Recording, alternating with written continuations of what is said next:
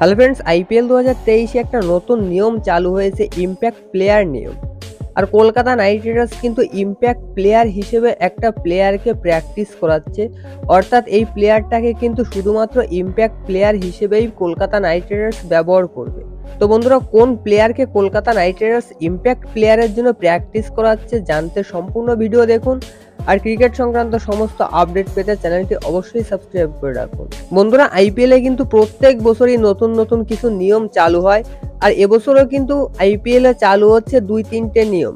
হ্যাঁ বন্ধুরা, একটা নিয়ম কিন্তু ইতিমধ্যে চালু হয়ে গেছে, যেটা হচ্ছে ইম্প্যাক্ট প্লেয়ার নিয়ম এছাড়াও কিন্তু আরও দুটো নিয়ম চালু হবে। হ্যাঁ বন্ধুরা ওমেন্স প্রিমিয়ার লিগে ওয়াইড এবং নো বলের জন্য কিন্তু রিভিউ সিস্টেম চালু করেছে বিসিসিআই তবে এই রিভিউ সিস্টেম অর্থাৎ ওয়াইড এবং নো বলের উপর রিভিউ সিস্টেমটা কিন্তু আইপিএল দু হাজার তেইশ থেকে মেন্স আইপিএলেও চালু হবে।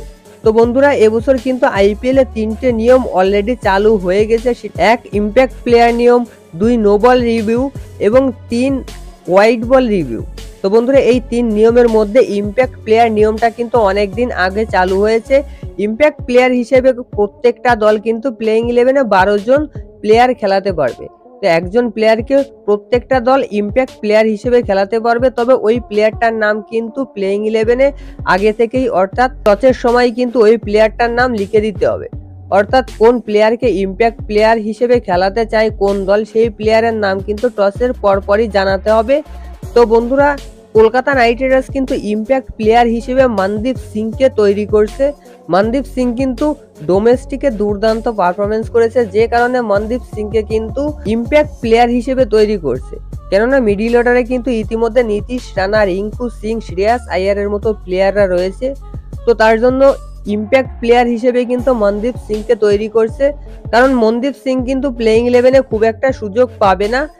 প্লেইং ইলেভেনে সুযোগ না পাওয়ার কারণে কিন্তু মনদীপ সিংকে ইম্প্যাক্ট প্লেয়ার হিসেবে তৈরি করছে। আর ইম্প্যাক্ট প্লেয়ার হিসেবে তৈরি করার জন্য কিন্তু মনদীপ সিংকে একটা আলাদা প্র্যাকটিস করানো হচ্ছে।